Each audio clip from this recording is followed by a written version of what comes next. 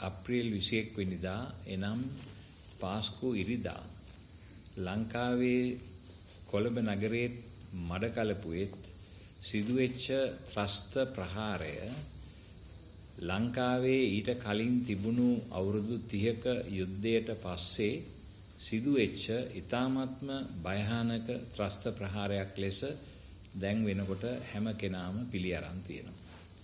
මේ ත්‍රස්ත ප්‍රහාරයට පදනම් වෙච්ච අය සියලු දෙනා පිළිබඳ සොයා බලන්නට අපි ඊ타මත්ම ලොකු උනන්දුවකින් කටයුතු කළේ එදා ඒ ත්‍රස්ත ප්‍රහාරයෙන් පසුව අපේ ජනතාව සංසුන් කරලා යුක්තිය ඉෂ්ට කිරීම අපේ කර උඩට ගත්තු වාතාවරණයක් නිසායි. නැත්නම් ඒ වෙලාවේ අපි දන්නවා මිනිස්යන්ගේ හැඟීම් ඊ타මත්ම දුෂ්කර අඩියකට පත් වෙනකොට මිනිස්යාට හිතෙන්නේ පහර දෙන්නයි. ඒ නිසා ඊටා භයානක තත්වයේ කලබලයක් ලංකාව තුළ නිර්මාණය වෙන්නට හැකියාව තිබුණා.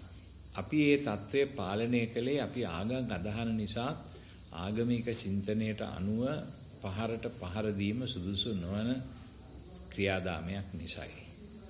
ඉතින් අපි බලාපොරොත්තු වුණා ඒ දුන්නු පොරොන්දුව ඉෂ්ට කරන්න.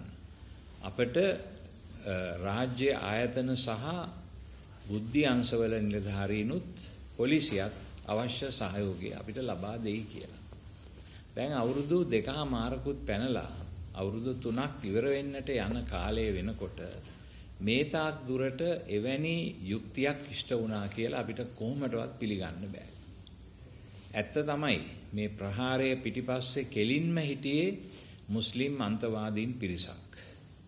නමුත් මේ ප්‍රහාරය සිදුවෙනවා කියන එක පිළිබඳව හොඳින් දැනගෙන හිටියා බුද්ධි අංශවල නිලධාරීන්, පොලිසිය උසස් නිලධාරීන්.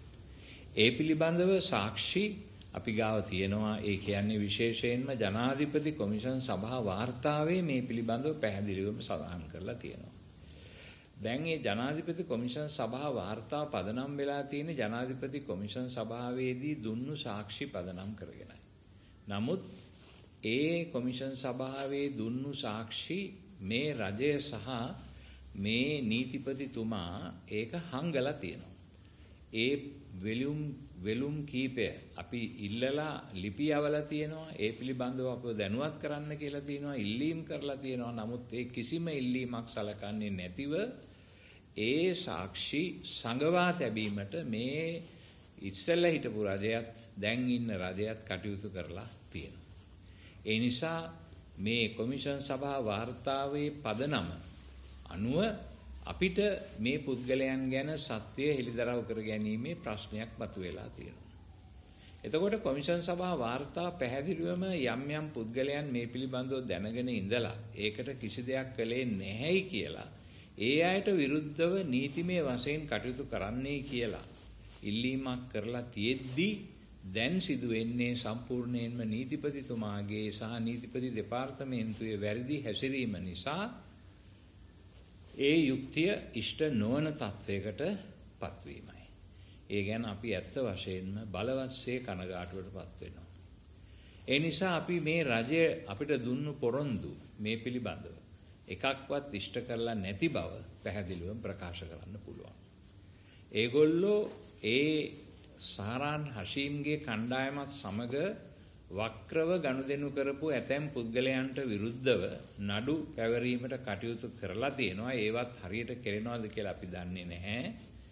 අනිත් අතින් ඒ වගේම ඒ මේ කාරණාව සම්බන්ධව පැහැදිලිවම දැනගෙන හිටලා ඒ පිළිබඳව ඒ වළක්වන්නට මුකුත් නොකරපු රාජ්‍ය නායකයෝ සහ උසස් බුද්ධි අංශවල නිලධාරීන් මෙන්ම උසස් පොලිස් නිලධාරීන් ආරක්ෂා කරලා ඔවුන්ට උසස් වීම ලබා දීලා මේ නීතියේ වැඩපිළිවෙල සම්පූර්ණයෙන්ම විහිළුවක තත්වයට පත් කරලා තියෙනවා දැන් ඉන්න රජය.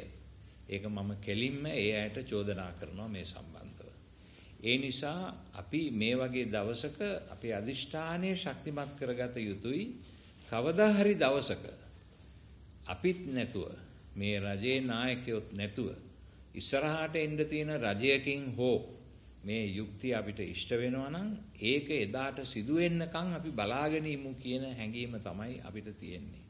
දැන් තියෙන රජය ගැන හෝ දැන් තියෙන මේ නීතිපති දෙපාර්තමේන්තුව ගැන හෝ කිසිදු විශ්වාසයක් අපට තබන්නට බැරි බව දැන් පැහැදිලිව පෙනෙනවා. ඒ නිසා අපි ඒ ගැන කනගාටු වෙනවා. දුක් වෙනවා. අපේ ජනතාවගේ සුසුම් ලෑම් කඳුළු වේදනාව ඉදිරියේ අත හෝදාගෙන පැත්තකට වෙන්නට මේ ආණ්ඩුවත් මේ නීතිපති දෙපාර්තමේන්තුවත් මේ සියලු දෙනාම කටයුතු කිරීම ඉතාමත්ම කනගාටුදායක අත්දැකීමක් නූතන ඉතිහාසයේ. ශ්‍රී ලංකාව නිදහස ලබාගත් දවසේ ඉඳලා සිද්ධ වුණේ ක්‍රමක්‍රමයෙන් ක්‍රමක්‍රමයෙන් නීතියටත් රටේ සහෝදරත්වයටත් ආධ්‍යාත්මික වටිනාකම් වලටත් පහර දීමේ දේශපාලන නායකයන්ගේ වැඩපිළිවෙලයි. ඒකේ ප්‍රතිඵලයක් තමයි අද අපිට උදා වෙලා තියෙන්නේ. ඒ නිසා මේ ක්‍රමවේදය අපි වෙනස් කරන්නට කටයුතු කළ යුතුයි. මේ ක්‍රමවේදය වෙනස් නොකළොත් මේ රට තව තවත් ආගාධයට ඇද වැටිලා අපේ ජනතාව ඉතාමත්ම අසරණ තත්ත්වයකට පත් වෙනවා. මෙතනදී මම කතා කරන්නේ අපේ පාස්කු ප්‍රහාරයට අහුවෙච්ච ඒ වින්දිතයන් ගැන පමණක් නොවේ මුළු රටම ගැන. අපේ රටේ ජීවත් වෙන බෞද්ධ හින්දු මුස්ලිම් ක්‍රිස්තියානි මේ සෑම දෙනෙක් ගැනමයි මම කතා කරන්නේ. මොකද මේ ප්‍රහාරවලින් මැරුණේ කතෝලිකයෝ විතරක් නෙවෙයි. මේ ප්‍රහාරවලින් බෞද්ධ අය, හින්දු අය, මුස්ලිම් අය, ක්‍රිස්තියානි අය බොහෝ දෙනෙක් මැරුණා. මේ ප්‍රහාරවලින් බොහෝ දෙනෙකුගේ ජීවිත අවුල් වුණා. ඒ නිසා මේ ප්‍රහාරවල මේ ලේවලට එදා බලේ හිටිය අයත් ඒ බලය අයුතු ලෙස පාවිච්චි කරපු අයත් මේ ලේවලට ඒ මුස්ලිම් අන්තවාදීන්ට සහය දැක්වූ අයත් සියලු දෙනාම වල් කියන්න ඒ වගේම මේ රට තුල ජාතීන් කෙටවීම, ආගම් කෙටවීම පදනම් කරගත්තු ඇතැම් සංවිධානත් වග කියන්න ඕනේ මේ ලේවලට. ඒ නිසා අපි අදහන දෙවියන් වහන්සේ කවදා හරි දවසක මේ යුක්තිය අපිට ඉෂ්ට කර දෙයි කියන බලාපොරොත්තුවෙන් අපි අපේ අරගලය ඉදිරියටම කරගෙන යන බව සහතික වෙන්නට ඕනේ. එය කරගෙන යන්නට අදිෂ්ඨාන කරගන්නට ඕනේ. ඒ නිසා මේ වැඩපිළිවෙල සඳහා දායක වෙන එක ප්‍රයත්නයක් හැටියට අපේ ලාල් පුෂ්පදේව පියතුමා විසින් රචනා කරලා සකස් කරපු මේ පොත එනම් තිත කියන පොත එකේ ඉතාමත් වැදගත් වචන කීපයක් තියෙනවා. මෙවන් ම්ලේච්ඡ සංහාර යලි සිදු නොවන්නට කියන එක මේක සඳහන් කරලා තියෙනවා. මම හිතන්නේ ඒක ඉතා වැදගත් චේතනාවක් හැම දෙයක්ම කරද්දී. ඒ නිසා මේ අවස්ථාවේදී මම ඔබ සියලු දෙනාටම සුබ පතමින් ගරු ලාල් පුෂ්පදේව පියතුමාට ස්තුතිවන්ත වෙමින් ශ්‍රී ලංකා කතෝලික රදගුරු මණ්ඩලයට ස්තුතිවන්ත වෙමින් මම නිහඬ වෙනවා. ඔබ සැමට ජේසු පීඨයි. The News Reporter. වාරණයෙන් තොර අපක්ෂපාතී වාර්තාකරණය.